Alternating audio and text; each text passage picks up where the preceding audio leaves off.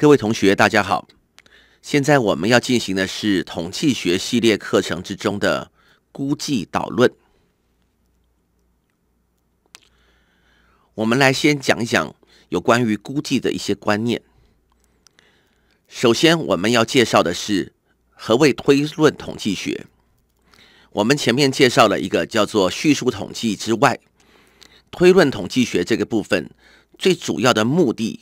就是说，我们想要从一个母体，因为一般来说母体我们的状况是不知道的，我们很希望知道的是母体的，比如说是集中的趋势或者是分散的趋势。那么我们要怎么样去了解它呢？母体很大，我们可能没有办法去一个一个去普查。那么我们可以透过样本的统计量。利用样本的统计量，那它的观念就是一个抽样的分配的一个观念，去来推估母体的特性。在估计的这个技巧的上面来说，我们大略的话可以分成了两种这个统计学，两种，第一个叫做母数的统计学，这是 parametric statistics，这是什么意思呢？就是说基本的假设。母体是一个常态，或者是说我们的样本都是大样本的情况之下，我们比较习惯的用的是母数的统计学。还有另外一种，另外一种的话是比较特别的，其实也不算是特别，它是在一个无可奈何的情况之下，母体的分配是不明的。我们没有办法做一个母体的这个基本的假设，或者是说它的样本非常的小。那么我们有另外一个技巧，就是让 parametric statistics，就是用的是无母数的一个技巧。那么在后面我们将会介绍。那么主要我们估计的目的是在做什么呢？其实有两大目的。第一个目的，我们是做估计，我们想知道的是母体的特性，母体大概是多少。另外一个更重要的目的，就是在做一个假设的检定，叫做 hypothesis testing。这个地方我们在后面将会有很多很多的类型的题目，都是要需要我们做假设的检定的。现在我要介绍的是估计的方法。估计的方法大略来说的话，我们有两种状况。第一个是用点估计。点估计的话呢，就是说，比如说，我们想知道的是母体的呃平均数，那么我们蛮习惯的是什么呢？用样本的平均数去估计它，这个就是一个点的估计，那么它的数字就是一个数字而已。那么像这种情况的话呢，一般来说啊，点估计的话呢是呃比较基本，而且但是它是。不可能是一模一样的，所以我们还有另外一个叫做区间的估计。区间，我们叫它 interval。区间估计的话，跟点估计的差别是，它不是给我们，我们是估计它不是估计一个多少值一个数值而已。我们可以估计的话呢，是一个范围。比如说，我们想要知道的是，像是这样子。我们要跟人家约时间，约了哎下午五点。下午五点的话呢，是不是刚刚好五点整呢？那是一个点。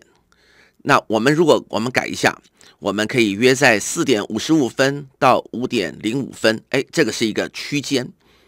那么区间的话呢，是给我们的一个范围。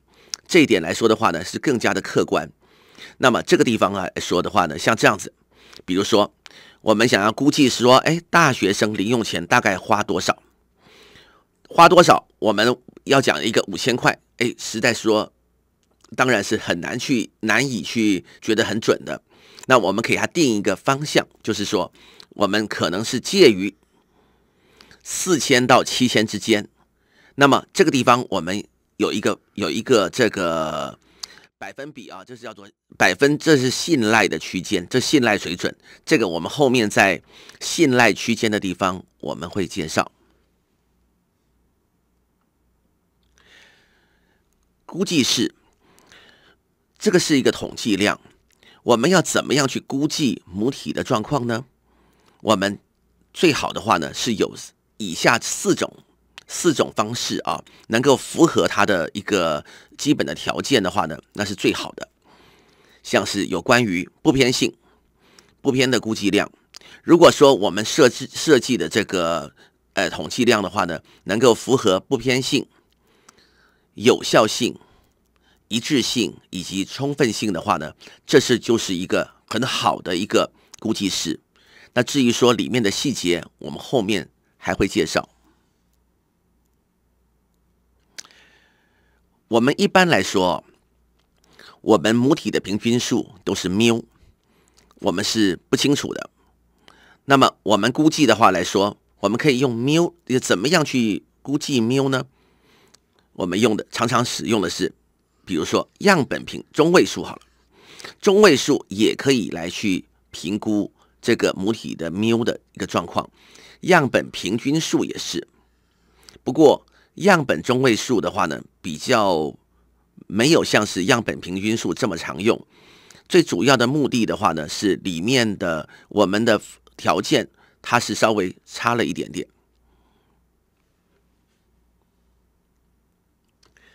再说了，母体的话离散的趋势，我们也是要很关心的，所以我们对于母体的变异数的估计也是非常的重视。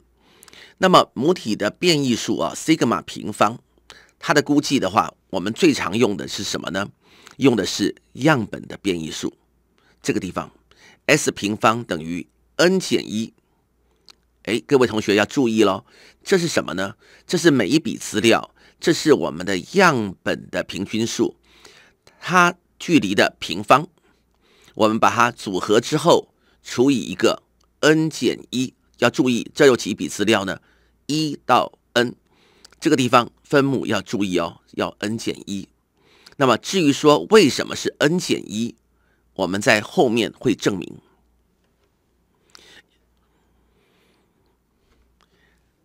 这个单元的话呢，是大概是介绍一些估计的基本的一些观念。